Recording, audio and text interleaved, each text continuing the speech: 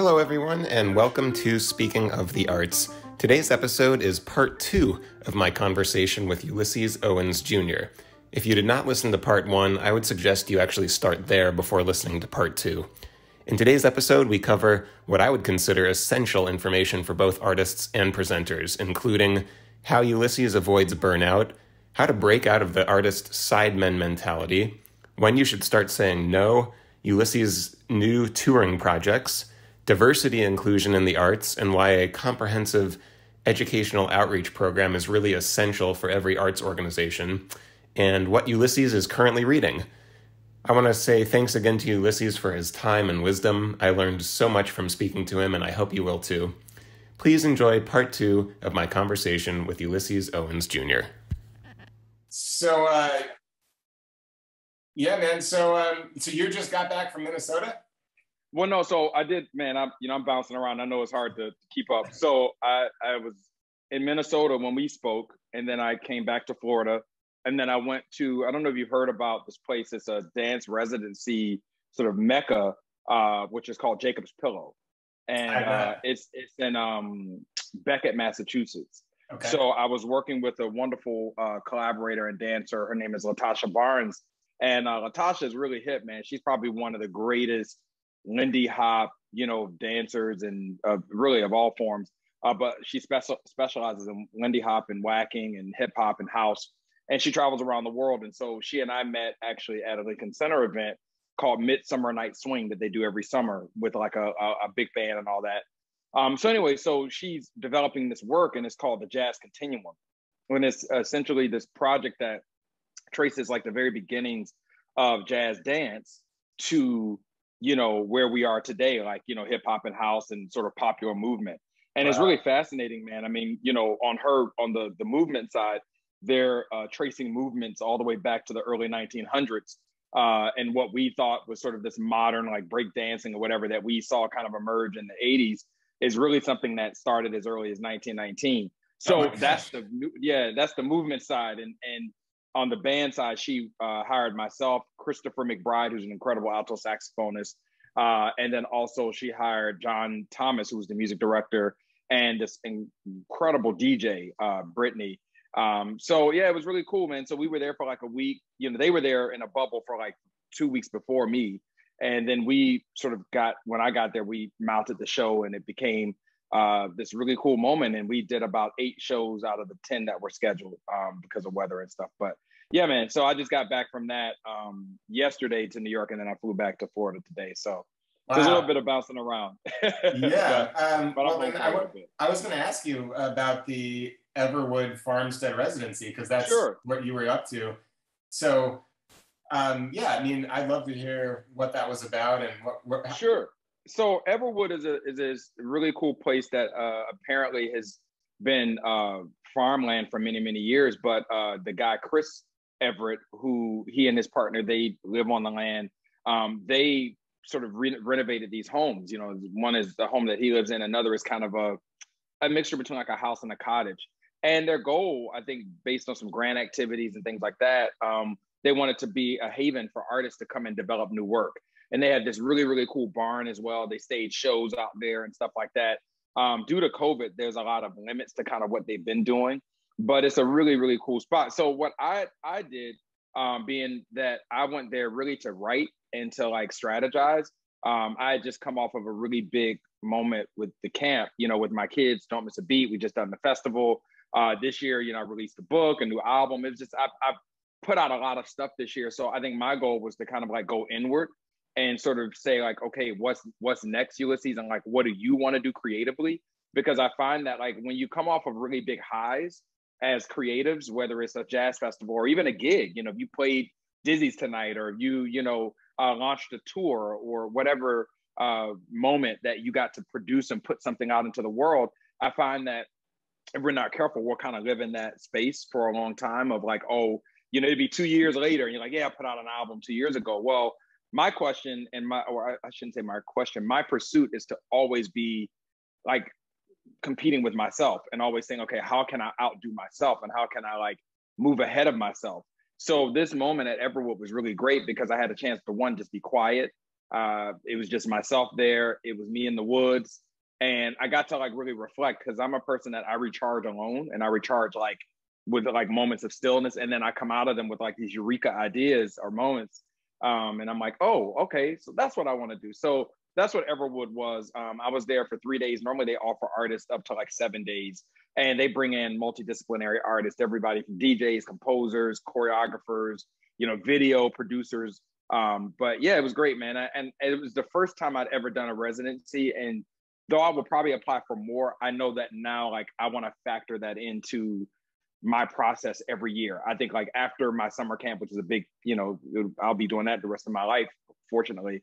Um, after that, I will probably always factor in that time to just like steal away to someplace quiet to just kind of collect myself and then figure out what's next. So. Yeah, you know, I think it's important to highlight that exact act, uh, taking the time to do that. A lot yeah. of people don't do that, and uh, I was fortunate. I was uh, um, in this group for a few years called the Strategic Coach. It's specifically wow. for entrepreneurs, um, nice. but of all industries. And nice. so, in a nutshell, what this is is I would meet uh, once a quarter in Chicago with other entrepreneurs, and we had a coach, and um, uh, we would it would be a one day, uh, eight hour day just devoted wow. to you, like to me, wow. right?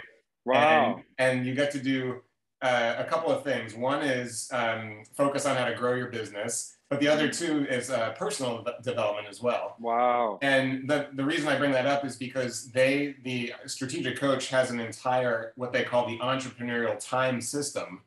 Hmm. So because they realize, you know, okay, there's a, such a difference, as you know, between someone who works for themselves versus right. someone who is part of another system. Right. And if you work, and so a lot of, and they started to notice a lot of their clients making the transition. They were working for somebody else, then they decided to go off and do their own thing. And a lot wow. of their clients were experiencing just severe burnout because they wow. were still on the clock in, clock out, every day, every day mentality. Wow. Or as an entrepreneur, just go, go, go, go, go, go, go. Right, right, right, right. So the entrepreneurial time system builds in what they call a free day. Um, and it's up to you when you want to take a free day, but it has okay. to be a full 24 hours no work. Just, wow. Just you. Or it could be family, but no work. Mm-hmm. Not, like mm-hmm. nothing. No email, nothing. And when wow. you start to slowly get in the habit of doing that for yourself, you completely um, become you you come back completely charged.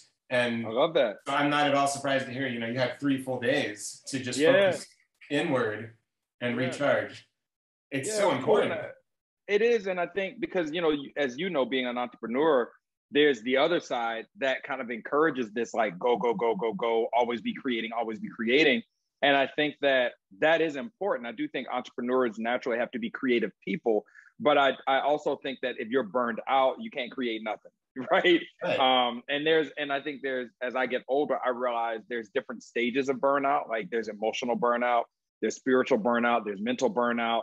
Um there's even like you know what i feel like is artistic burnout right? And so i think yes. the goal is when you go into these sort of like shelters, these safe havens, you get to kind of like, you know, turn the the the coolers or the, you know, the burners down on all fronts and just cater to yourself, you know. Um, and I've kind of never really done that. I've always been like, okay, well, I'm I'm chilling like for COVID, all of us were chilling from the stage, right? So we all were like getting refilled or refueled artistically, but we all, you know, some of us were stressed about different things, maybe economically, or maybe you you were in a home with family that had different issues. So I think in these moments, for me, which I like them to be short, like I can't do a five day residency at this stage of my life, but I do like three or four days where I can just kind of like, you know, uh, turn everything down and just kind of like, and just be be in the moment and just my only focus for the day is what am I gonna cook or what am I gonna, you know, read today, like and take in. So yeah, man, it was it was great. I'm very yeah, thankful. yeah.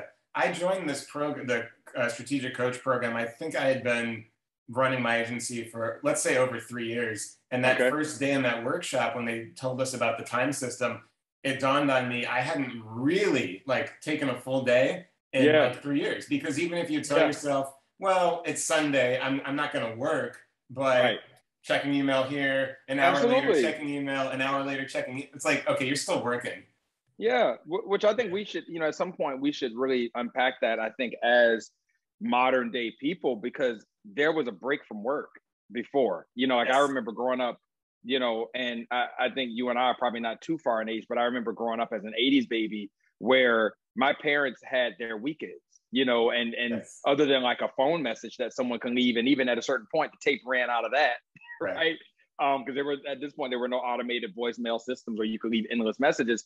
There was a limit of how much could get to you. You know what I mean? Absolutely. And so I think now it's okay. Not only can you leave me tons of voicemails, you can also leave me tons of voice memos. You can send me tons of text messages. You can then send me a bunch of emails, and then you can send me a bunch of direct messages on 20 different platforms. Right. You know, so we are now so plugged in that I think um, the question will be later is who are we when we're not plugged in? And I and and I start with myself. I mean, I'm getting ready to implement um, some technology fasting soon because I feel like I'm so addicted, you know, to to my phone and to my computer and stuff and i just i need to make sure that i that i have the right relationship with it so yeah man it, all yeah. those residencies and those things they, they create it creates the ability to even think about that kind of stuff yeah i want to send you a tool from the program that i use almost Please. i don't know about every day but at least three times a month Please. Um, uh, so real quick, it's called the impact filter, and it's oh, wow. a one it's a one page PDF, or you can print it out, do it on okay. your computer, whatever you prefer. And what it does is if you have an idea for anything, project, something complicated, something simple, okay. it, it, it gets you to identify if you were to do this, what are the success criteria? Wow, nice. It, right? And and so basically this idea of you have to sell yourself before you can sell somebody else. Ooh, I like that. And I just have this feeling that you being so busy and prolific and thinking yeah. about should I do this, should I do that, should I do this? Yeah. I, I can't tell you how great this tool is. It's I love and, that. And here's the real beauty of it. Once you kind of get familiar with it, yeah. you want to be in a position where you hand it off to somebody. I so love like, that. If you have an assist, let's say you have an assistant. Yeah. I, I have this idea. Well, how many times do things get lost in translation, whether it's right. just me talking to you or me trying to communicate right. it to 30 people? Right, right, right, right. If I do this simple exercise, it takes five minutes, I hand it off, people will get right away what this is. Yeah. And then the beauty of it for you as the entrepreneur is that's it. You don't have to do anything else. Right, right, right. I love that. You know, so it's funny that brings me back to uh, a point that I learned from a really well-known musician uh, a long time ago, and he gave me kind of I'll I'll, I'll sort of speak about it loosely, but he gave Can me like who's the musician. well, I'll, I'll just tell you, um, McBride told me um, a long time ago, he gave me like this criteria for like a way to measure different gigs. And um, I'm not going to give away like his secret, but I'll, I'll just kind of sum it up in different ways of like, one of the things he told me was to think about like one why like why do you want to do this gig right like especially once you get past the point of like I, you know I always sort of talk about the juxtaposition of making a living versus designing a career right and so I think most people, probably 90% of musicians, make uh, money or they, they make music to make money at a certain point, right? Because that's what they've chosen. Once I feel like you tap into like, okay, money is a is a thing, but it's not my main motivation. And now you start saying, okay, I'm gonna design a career. One of the first things he talked about was like why. Like you need to understand like why you're doing this. And and then, you know, saying because I was saying yes to all these different things. And he talked about kind of like, okay, one, you got to think about why are you doing this? Two, you know, what are the different uh, levels of impact that could could be there for your career? Yes. You know, and he gave me these sort of different measuring tools of okay, you know, is it something you feel like you know you're going to learn a lot from that particular musician? You know, is it something where you feel like that musician not only are you going to learn, but they're going to give you a level of exposure to certain things? Um, so he gave me a lot of different sort of measuring tools to think about like why are you doing this as opposed to everybody's just you know or or you're wanting everybody to call you what is that specific reason why you're doing stuff and i think i speak about this um, a little bit in the book as well but i think that for me to your point about the impact i was driven really long for a really long period of time by doing things that people thought that i couldn't do or shouldn't do mm. right and i think by the time i started working with people like the mcbrides or kurt elling or whomever it shifted from like all right I don't need to prove anything anymore because I'm working with people who their their life is not to prove things. And I think that was what working with those guys taught me the most about was Kurt and McBride and Nick Payton and all the other people I got to work with. They weren't doing things to prove a point. to anybody but themselves, you know. Yeah. And I think that goes back to that impact sheet of like I remember talking to Kurt one day and being like, Kurt, Kurt, one of the things that amazes me about him is by the time he finishes his his like he's on the road right now with this project Super Blue with Charlie Hunter and Corey Fonville or whatever. I bet that Kurt already is in the motion of what his next project is. And that was one of the things that I that I learned from him. Like by the time, you know, we were touring dedicated to you, he was already thinking about his album The Gate. By the time we did The Gate, he was already thinking about, you know, the next project. By the time we did uh I think it was this uh uh, live at Birdland record, he was already thinking about this super blue thing, you know, and so he's always like producing, but then also he has something in incubation. And I saw something very similar with McBride and, and Nick Payton and even like a Monty Alexander. It's like they had these ideas, or even Wynton, they had these ideas about like what they were doing. And they were fully engaged in like whatever we were doing. Like if we were out on the road with the trio or if Went was out on the road with his big bang, like he was absolutely engaged. But it was already a well-oiled machine, and he was thinking about like what is the next thing. And and for all of them, I could unanimously say what I learned from them was what their guiding light was not their success. Their guiding light was sort of this body of work or this this extension of a legacy that they want to continue to build. Yeah. And so that's kind of what I back to your point. That's what I like built in um, to my life. It's sort of these measuring tools of why am I doing this? What is it bringing to the table? You know, is it furthering me in a certain kind of way? You know, and then that helps you to measure because money should. I, I say to people at a certain point, money should never be your motivating factor. And why you take something. Because I tell people I play for free, but you pay for my time. You know, so yeah, that's yeah. a very big thing for me. So anyway, I just I know pun intended. Which is that? Pun intended. Right. right. That's great. And I tell people my time gets more expensive every year. Yeah, because it keeps getting better and better every year. you know, so it's same for you or anybody. You know, it's like because the time that I could be giving you, especially now, I will say this: the time that I could be giving someone else's project, I could be building something that is really important to me and not saying that other people's work isn't important to me but your work will never be more important to me than it is to you sure. you know what i mean like yeah. it, it's important I'm like man you're a great guy i hope this works well but it's not something i created with you right. so i'm always trying to make sure because you know as, as that sort of side man philosophy um, which i've been for many years sometimes you get stuck in the side man philosophy of like you're just constantly trying to figure out how to make everybody else better and you look up and you're like what the hell did i do for me? You know so anyway I, I, go off on tangents. Yeah no, it's all good. No well thank you for sharing the uh, mcbride story because i've had the good fortune of working with the pianist fred Hersch for many years. Oh fred great yeah and he's always been very clear about his i'll call it the impact filter that's not what he calls it but his criteria for accepting a gig and it's either it's one of three things and ideally you hit all three marks but that doesn't always happen, but you know, certainly money is a factor. Mm-hmm. Is this going to? How does this relate to him um, artistically? Is it important mm-hmm. artistically? And then, um, how does this relate to his career? So one of those three things, right? And you just said that, and so I'm not mm-hmm. at all surprised here that Christian has a very similar criteria list. But I think for young musicians starting out, you know, where it's like, first of all, the, the burden of can I make, can I do this? Can I make a yeah. living doing this? Of yeah, course, yeah. money is a big factor, but how do you start to weigh those three components? It's really important. But, but I want to I want to put one more thing in there, Mike, that I think we have to think about, or I think we should consider, and because I know you have other things you want to talk about. We have to consider the phase of life and career we're in, right? Yes. So if you are a 19 year old, 20 year old college student, and you're you know you're studying, I don't think and this is going to sound kind of harsh, I don't think you have the ability to make those decisions right now. Right. Like I think like because I because I also remember when I met you know McBride and Wynton and all these guys when I was a freshman in college, and their goal, their thing for me was take everything, right? Yes. So I, I so I think we have to figure out like where you are. Like one of my mentees texted me the other day, and she said, you know, Mr. Owens, I I, I think I got myself on a pickle, and I said, well, what what happened? And she said, well, you know, I I uh, got called for this gig. Um, it's really far. You know, basically, I accepted it before I realized one, it's really far from where I live.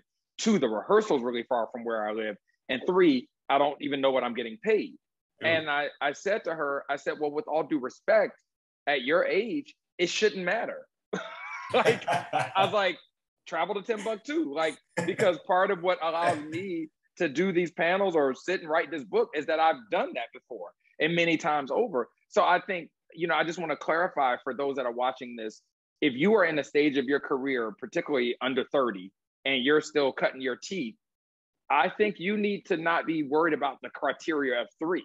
I sure. think to me, when you get past that point where you built some things, you you've got a voice out here, you're working, you're built, you know, you built a really good career and you're continuing to build kind of past that sort of initial onset, then that's when I think you need to start entertaining the criteria. Fred Hersch is a prolific, dynamic musician and has been for multiple decades. You know what I mean? Um, I'm just now entering that stage where I'm starting to make a name for myself and you know, aside from the people I've worked with. So now it's time for me to be very strategic. But if you haven't gotten to that point, I think you should take everything because everything will lead you to being more specific about what you want. You know? Yeah, it's amazing, right? We, we can almost summarize it's it's like there's a great crossover that has to happen, right? You go mm-hmm. through a mm-hmm. period of you have to say yes to everything, mm-hmm. and then you go mm-hmm. through a period where you have to learn how to say no.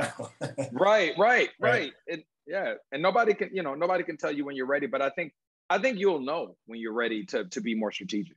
Yeah, absolutely, absolutely. All right, well, uh, folks, thanks for tuning in again. We're, we're doing part two here with Ulysses Owens Jr. And uh, Ulysses, I wanted to make sure you had an opportunity to speak a little bit about your current projects, specifically your current touring projects. Maybe sure. uh, let me ask you, let's just pick between now, 12 months out, 24 months out, you know, next sure. year or so because a lot of people listening to this, um, we, we really do try to cater this specifically to presenters and promoters. Oh, nice. So, okay. what should they know that you're up to uh, touring wise, or what you would like to be doing?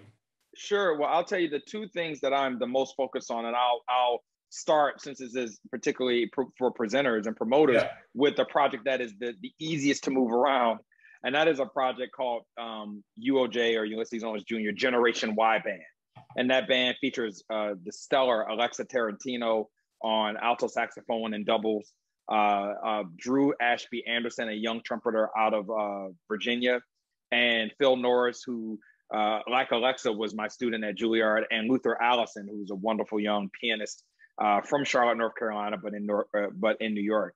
Um, that project is really kind of a brainchild of Miles Weinstein, my manager, and myself because I just sort of come off the heels of Songs of Freedom, uh, my project dedicated to Nina Simone and Abbey Lincoln and, and Joni Mitchell.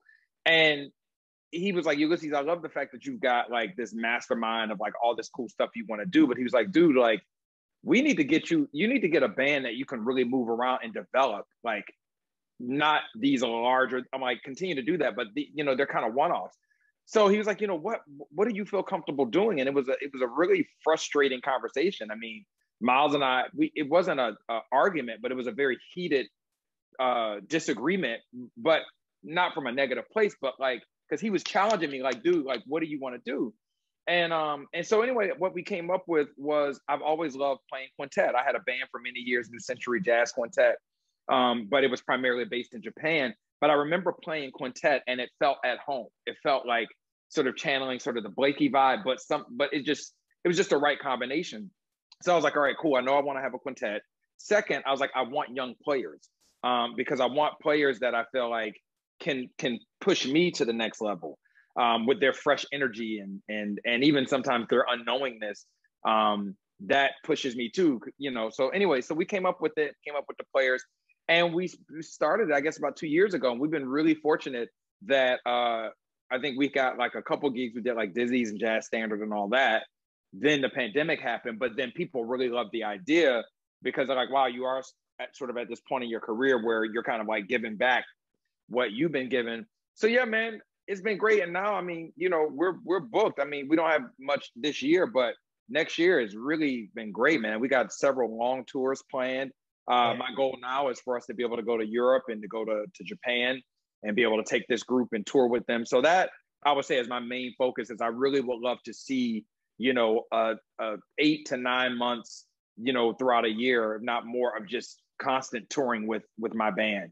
Um, and then the other facet of that, which kind of grows out of Gen Y, um, is the Ulysses Owens Jr. Big Band, which I have the, the CD that um, just launched. And for whatever reason, people really like that as well. And so I'm already starting to get some bookings. We have a couple of really cool concerts coming up. Actually, we're going to be in the Illinois uh, Midwest area, and we're going to be doing a concert uh, at a cool festival out there. And I got Marquis Hill. He's going to be a guest with us. So I think for me, what I'd love to see is this this combination of a couple really, or not a couple, but a few festival dates with the big band because I think that band has got a great energy and is full of a lot of youthful uh, but experienced energy, and also is multi-gender uh, and and multiracial.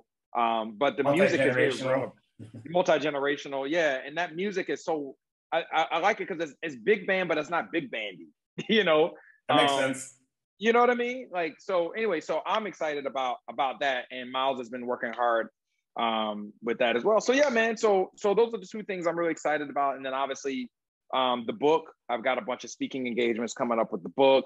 Um, I'm really excited this year. I'm going to be at PASIC Percussive Arts Society International Convention. I'm presenting a workshop on my brush book.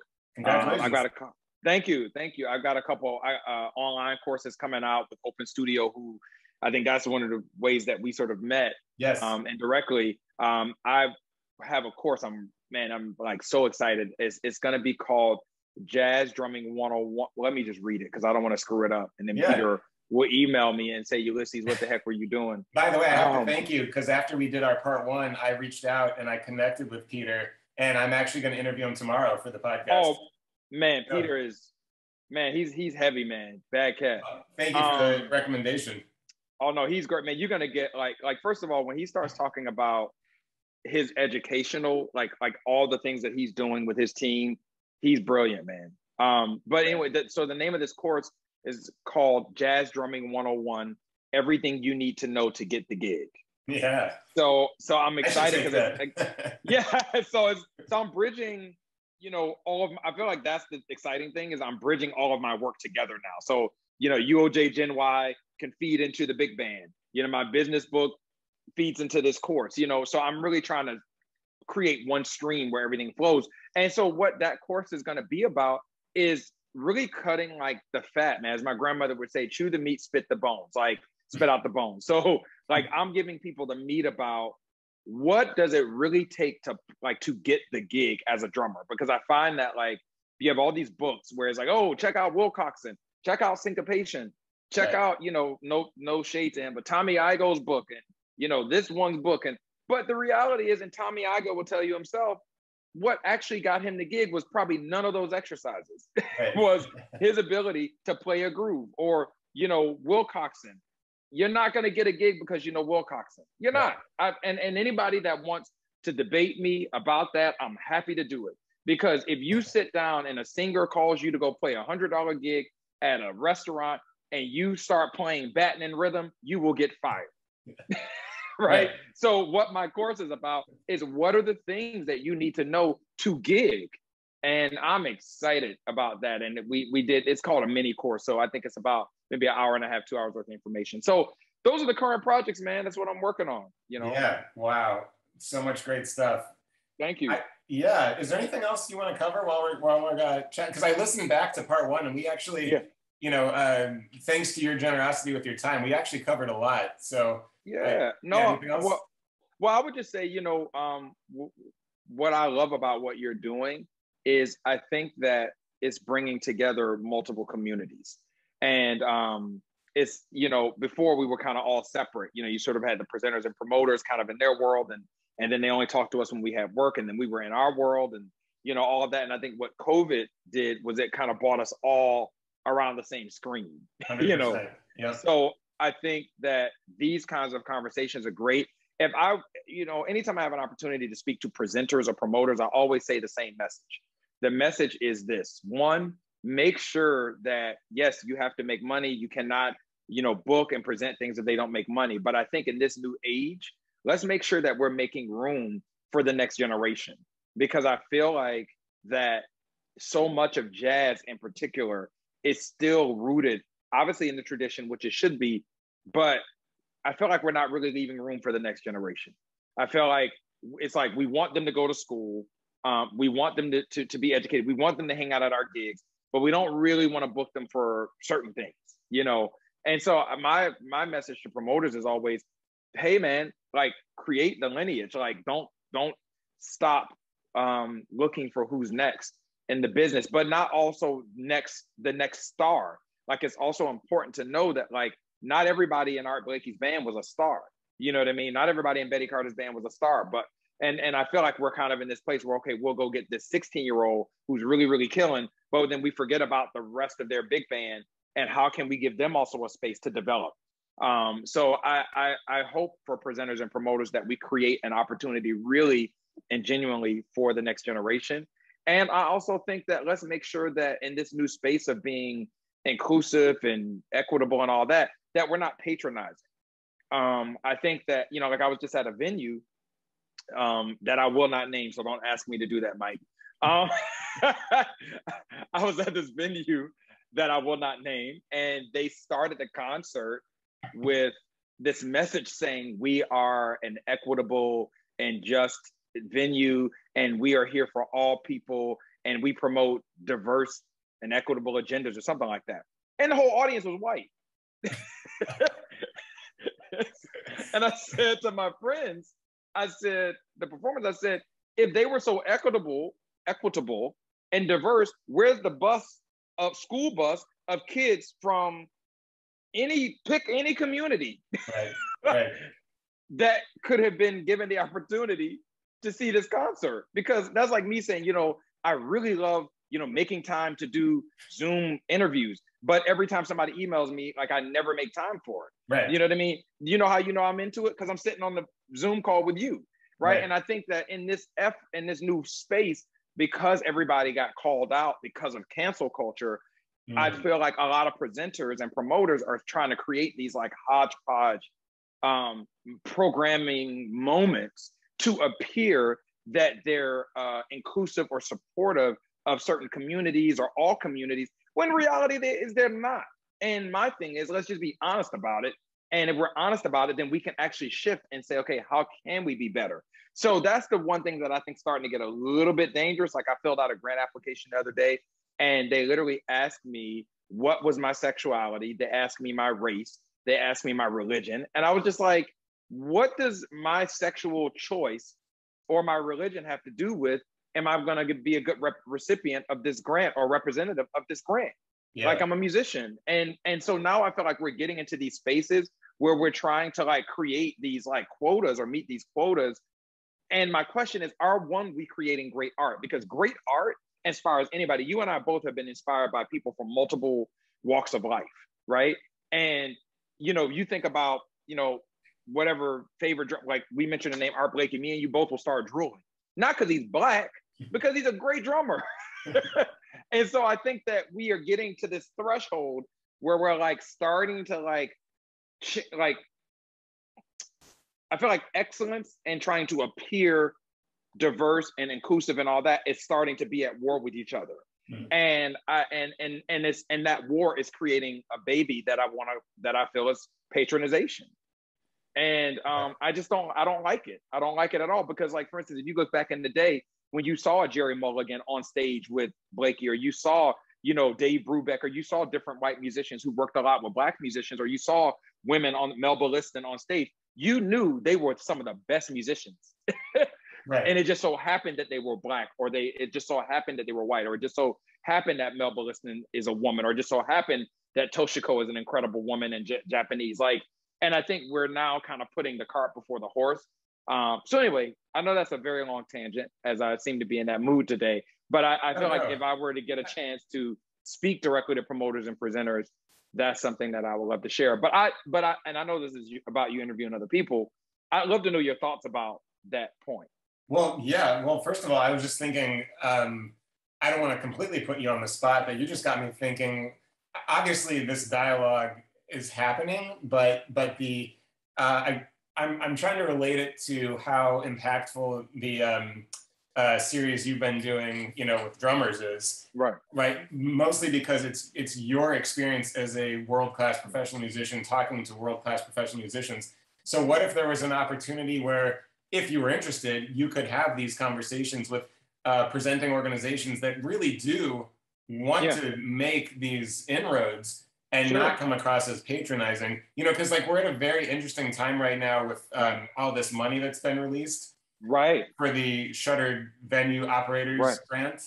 Um, and so obviously, you know, we're ta- it's it's hard to lump everything into this massive grant because right. you have to think about the venues that had to survive for over a year. Uh, right.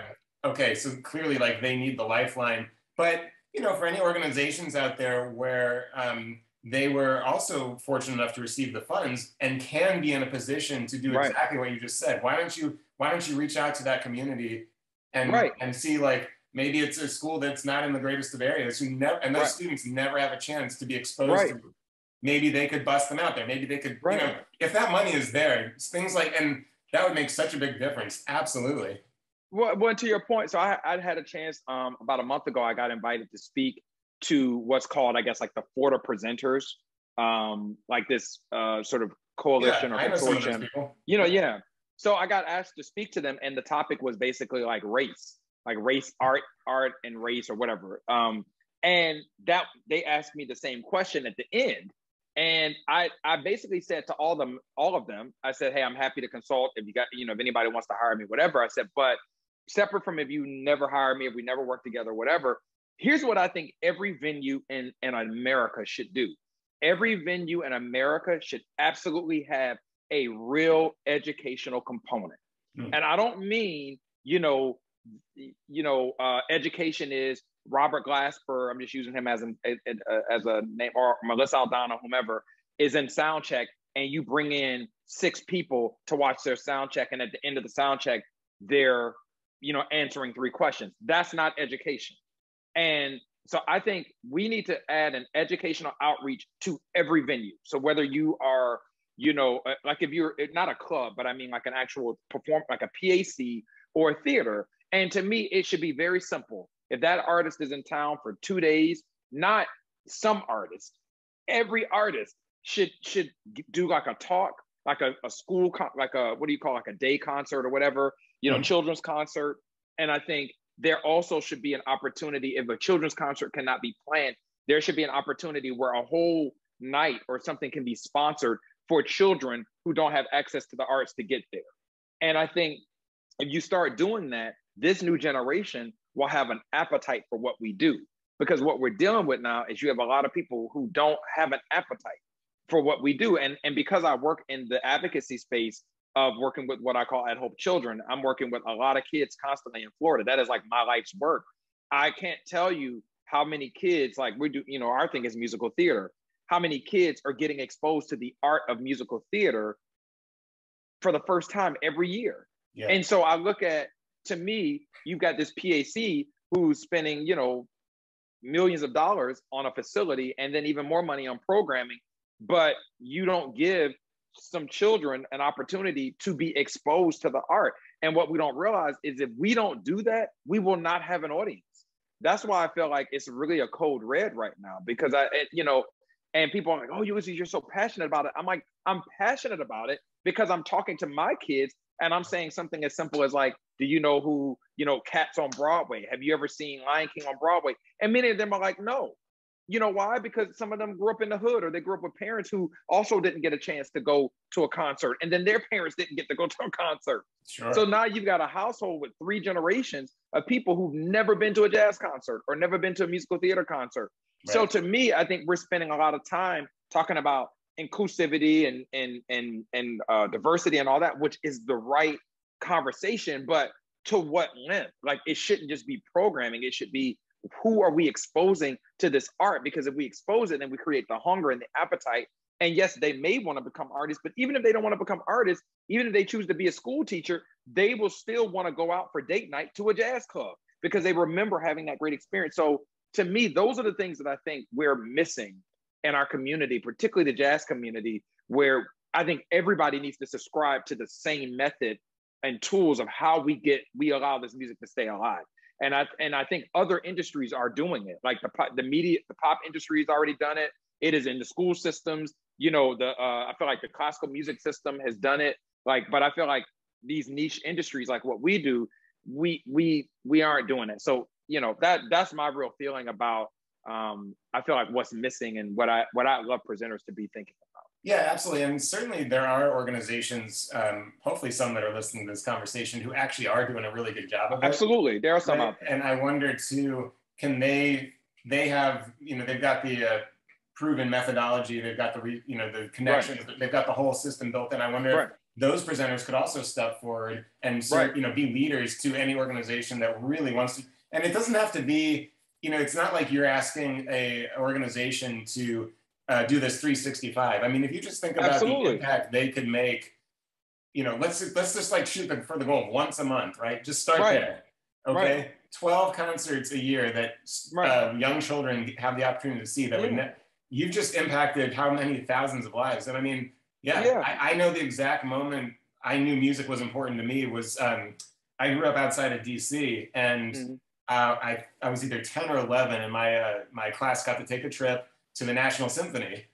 And it's, it's, it, I get goosebumps just thinking about it because I, I always remember two things from that concert. One, I remember sitting there watching the orchestra play and literally having the hair stand up on my arms. Right. Right, that right. feeling. And the other thing I always remember is looking at my friends and expecting them to be like, "This is so great," and and they're right. just all like out to lunch. exactly, but but also, but think about that, Mike. That ability or that that opportunity came to you based on the life that your parents made possible for you right? 100%. Like yep. like there's a there, you grew up outside of DC, probably you know whatever com- community in terms of the infrastructure of the kind of school that even created that kind of curriculum. You know, there's so many like for you to even be able to say that. There's so many benchmarks that you know I, what I'm saying. And this is no shade to you. Yeah. This is just reality of for you to even be able to, and the fact that your first experience was the National Symphony, like that's that that is it has so many different um Oh, it has many implications. yeah. yeah, implications, right? And so, and so, I think to your point, like a couple organizations I'd love to spotlight that are doing it well is uh, in St. Louis, Jazz, you know, Jazz at the Bistro. Yeah. Um, uh, Jazz St. Louis. I, I, get confused which name they use because it is, you know, but they have a great educational program. I remember being booked there, and part of my contract was we had to come in, I think Friday and Saturday, and basically do our show in an educational format for school kids. Yeah. You know, yep. and now and now it was really really dope. Another organization, obviously, Jazz at Lincoln Center, um, who has you know they have Jazz in the Schools program. They have their children's concerts. Um, another organization, Jazz Aspen Snowmass, um, yes. which now has a great partnership as well with University of Miami. Um, they're doing great work. You you've also got uh, what's the other one? Um, oh, SF Jazz. You know, um, you know, and then same Monterey, you know, which uh, Tim Jackson has, you know, Kuumbwa, which is sort of the annual thing, and then he's got a great masterclass series that's built into that. Down here in the South, there's a cool club called the Jazz Corner, and they've got a really great program that they have like a, a like a little big band or thing that they do.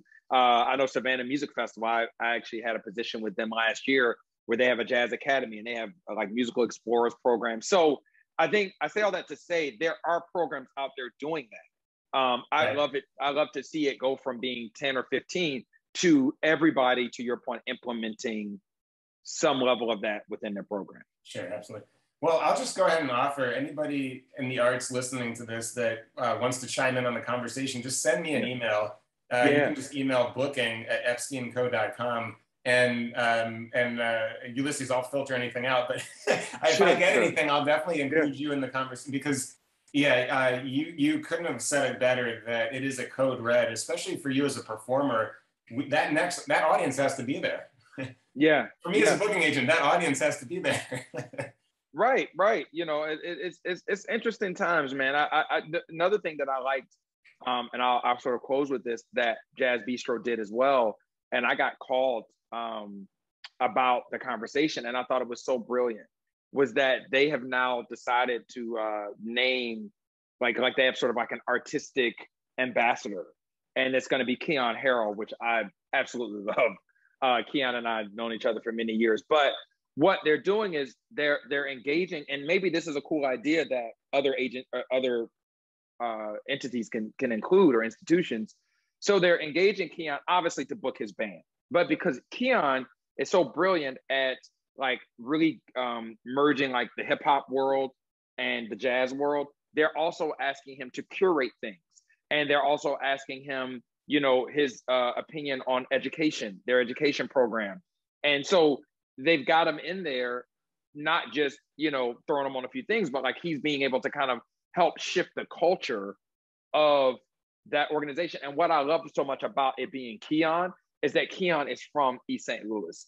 You know, grew up uh, in the neighborhood with some of the greatest musicians, um, and he understands that city, and he and he's a product of it. And so, to me, even that makes sense. Like, you know, I would love to see these different organizations um, employ people that have even been a product of, of that city and or, or you know international talent who still may have a tie, strong tie to that city um, or like for instance with myself like i'm i'm an artist and all that but like i'm really passionate about advocacy and education and community.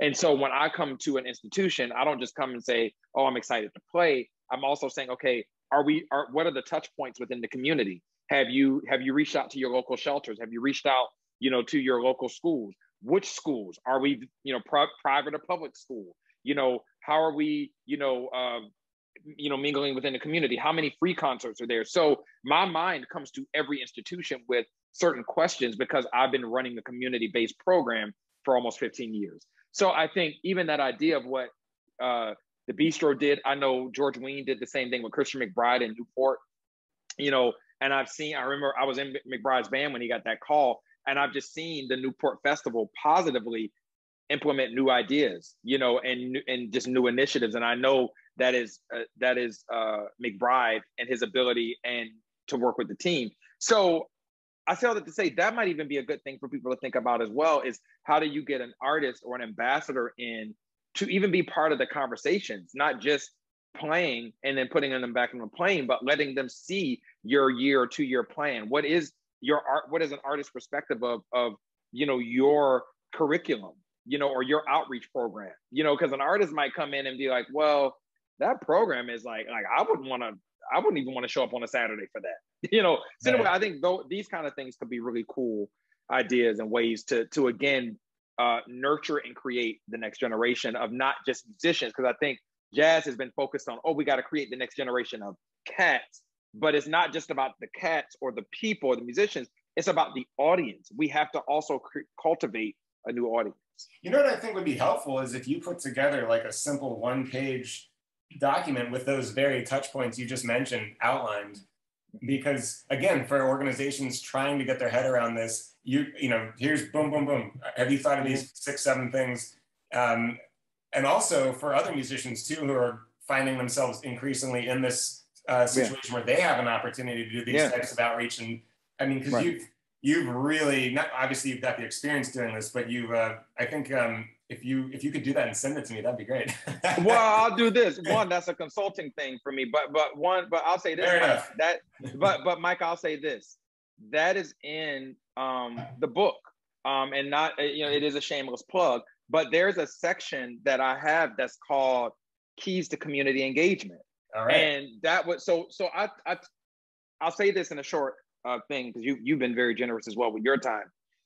The book, particularly the last part of it, has things that I've not seen in any other branding, you know, or educational or music. But like I, I basically put picked from sections of other in, industries and put them all in this one book for musicians.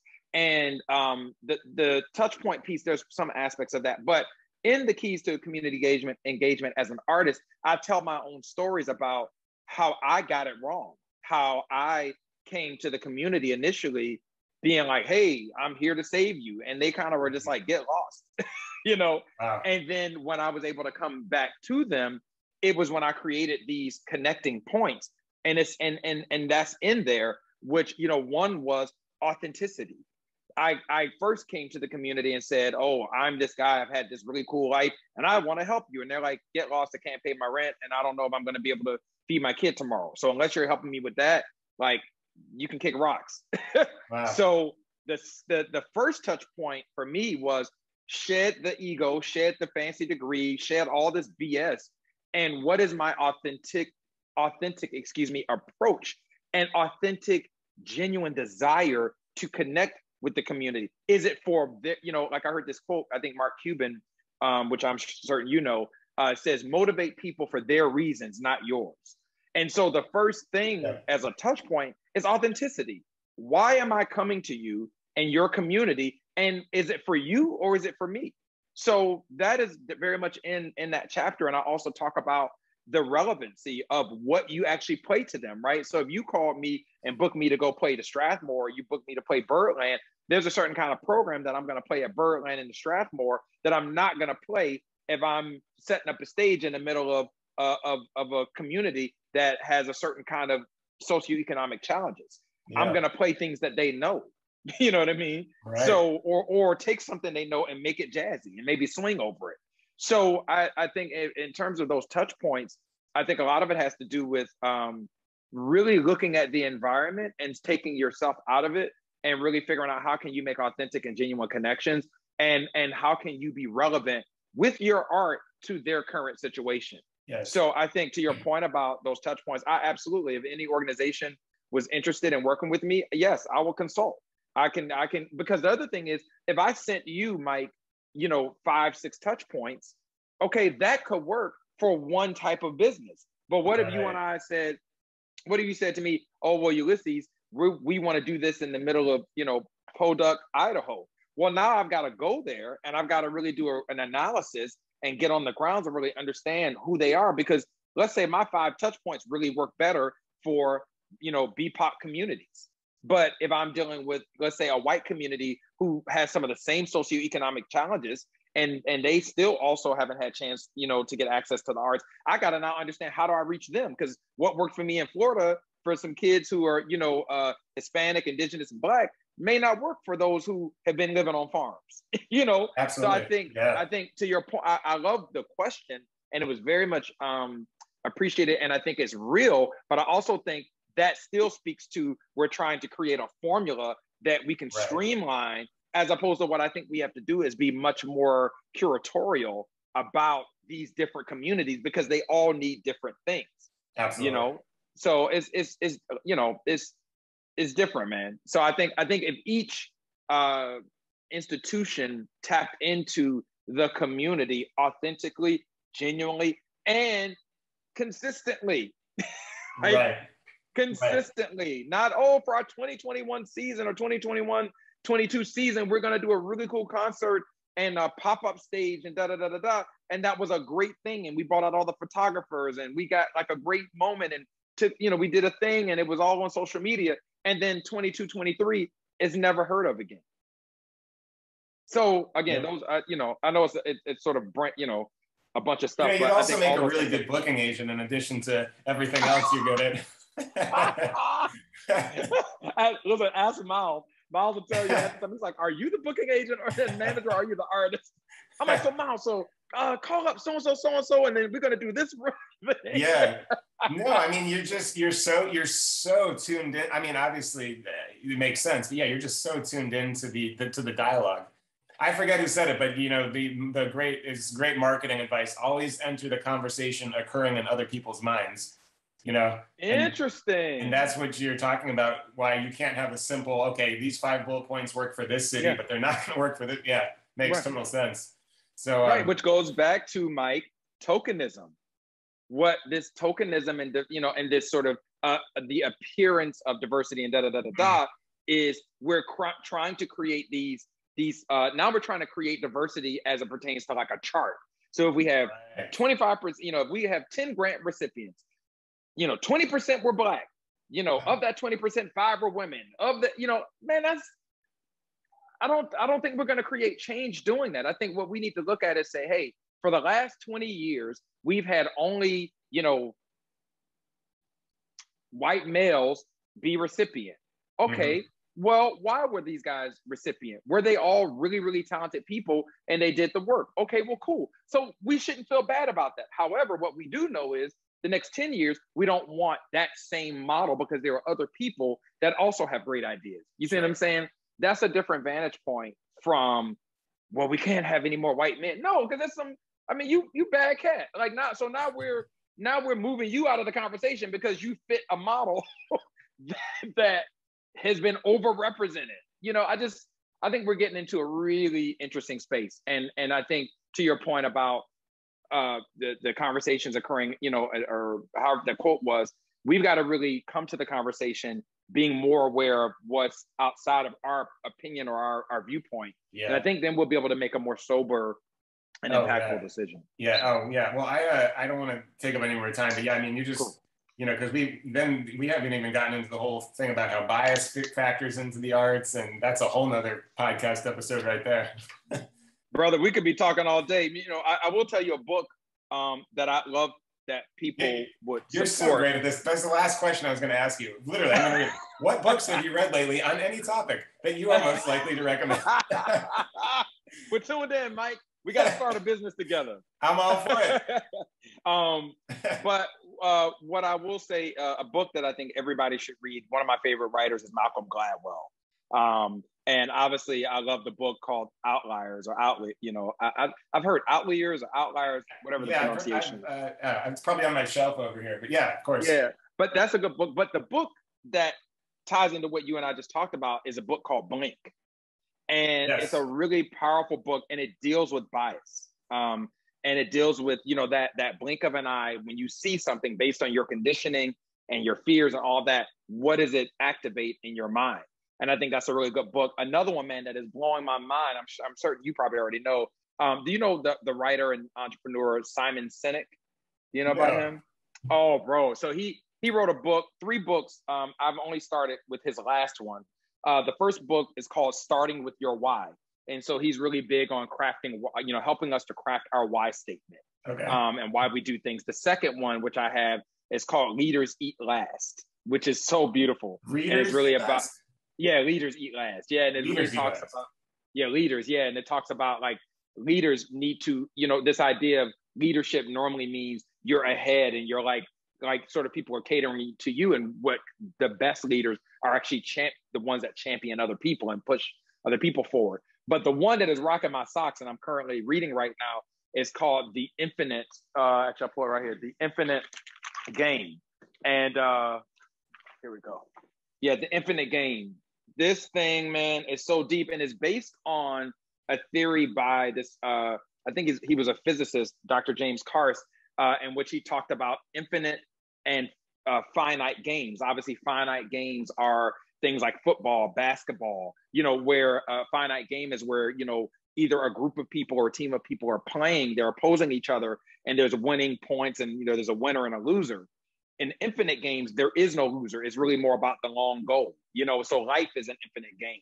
You know, relationships, wow. marriage, all those things are infinite because the the goal is this like sort of overarching fulfillingness and commitment to the uh, like the unknowing.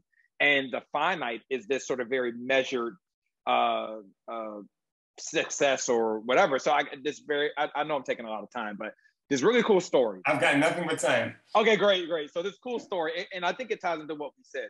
So there's really cool story where he talks about microsoft and apple and he talks about there was a moment where apple had released the ipod and it was all the rave. And so Microsoft had literally invested millions of dollars into like the is it called like a not A and R? Uh, yeah, the Zune. Have you I heard this story? yeah, yeah. So, tell me the story, but I had a Zune and it, yeah. yeah, so so so they they uh, I forget what the team is called that is a, a development, but anyway, so Microsoft developed like or put millions of dollars into developing uh, the perfect uh, competition in this device, and they literally analyzed every thing that the i the, the iPod didn't have. Mm-hmm. So they created the Zune Well, they said apparently there was some tech conference where uh, uh, an Apple employee and Microsoft like took a cab back to like the hotel together, and the Microsoft employee said to the Apple employee, "Hey man, we're really about to kick your butt uh, with this thing that we're about to get. You know, we're about to take over the the, the iPod MP3 player market." And the Apple executive basically said, wow, you probably are. Best wishes, right? Three to six months later, Apple lets go of the MP3 and they create the iPhone. and so what um what what Simon Sinek talks about is that Apple is always playing the infinite game. And there and also in an infinite game, you are only in competition with yourself.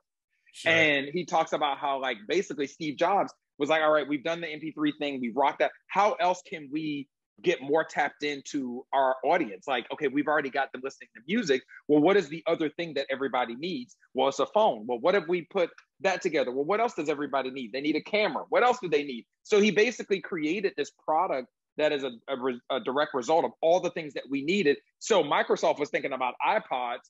iPod was thinking about how do we get further ingrained and entrenched into the daily lives of, you know, consumers. And and so he talks about the infinite mindset leads to that kind of impact because you're actually competing with yourself and trying to get further into the sort of a just cause and creating something that is just crazy impactful versus finite thinkers are very much like, oh, well, you know, I beat you this first quarter or whatever. So anyway, um, talking about books, I think Blink is really good because it deals with bias. Um, obviously, shout out to my book. It helps you to understand different musicians and and and sort of the entrepreneurial world of being a musician. I love the Infinite Game because it kind of gets us out of that like competitive, you know, metric system of I got to beat you, I got to beat you, which is can also a part of entrepreneurial life that I don't like. So those are some books that I think we all should embrace because I think it can change how we how we show up. Um, and this other one too, I have to grab that I've been reading. Um, if if um, I will give this one away, uh, people want to do community work. Yeah. This is great. Uh, called the new Com- new creative community. Have you read this? No. Who's, who's it by? Um, it's by Arlene Goldbard, but okay. it's really uh, she's great, and she's probably one of the most uh, respected authors on community cultural development. And so she really unpacks a lot of theories around uh, creative community, but also like how do you tap into different neighborhoods? And she has all these great analysis of different communities that she has observed or different works, like even something simple as like, you know, the Navajo community painting a mural that honors the ancestors on that ground and how that brought together the community, you know, so so I think a lot of organizations should definitely read this book because it can help them adapt kind of a new way of maybe their outreach program or whatever. So anyway, those are some books I'm I'm reading right now. Oh well, thank you for offering those. And I would also add uh, just on the uh, topic of, of bias and everything that I a book I read last year that really opened my eyes. It's called I'm reading it off of here. It's called um, Biased: Uncovering the Hidden Prejudice That Shapes What We See, Think, and Do by wow, Jennifer Eberhardt. Uh, wow, she's a she's a professor at Stanford. Oh, and, nice. And it, it really uh, I'm going to just uh, single out all the white listeners here who really need to uh, really need to begin to understand how they're seeing things and more mm. importantly how they're not seeing things. And mm. I can't recommend this book enough. Biased by Jennifer Eberhardt. Um, Jennifer Ulysses, Eberhardt. what an absolute pleasure, man! I oh man. You know, I, I, I, knew part two was going to be really good. And because of the kindness of your spirit, this took us to some places I couldn't have even predicted. And what a what a pleasure for me that you've inspired me. And um, I'm to have trouble sleeping tonight. My, my, my uh, the wheels are turning. well, man, listen, I have, I have such respect for you, Mike. Um, normally, I'm very finite with interviews um, because I, you know, I have a limited amount of time. But I, I just want to give kudos to you of your ability to be so interested in in building a new world you know oh, you. and interested in the information and, and getting it out there so it makes me open up in a certain kind of way and man we we haven't figured it out yet but we gotta we gotta find a way to work together so yeah, uh, i just like how you think uh, and and how you challenge me as well because i think you understand more about the entrepreneurial space than i do so I, it'd be great to to create something so I am sure. I'm going to send you that impact filter. I, would please, love to please. see you, what you think of it. Yeah. Cool, man. Uh, okay, last Thank question, you, real quick. Where oh, sure. can people go to connect with you? How can they find you? What's the easiest sure, way? Sure, man. You, UlyssesOwensJr.com and, um, All spelled and that out. has everything. Yeah, UlyssesOwensJr.com. It'll lead you right to me. And from that has all my social media. And I actually have a personal email address on there that people want to shoot me an email, they can reach me. So excellent. Out there. Cool. All right. Thank you, man. Thank you so much. This was a real All pleasure. Right. Take care, brother. Bye.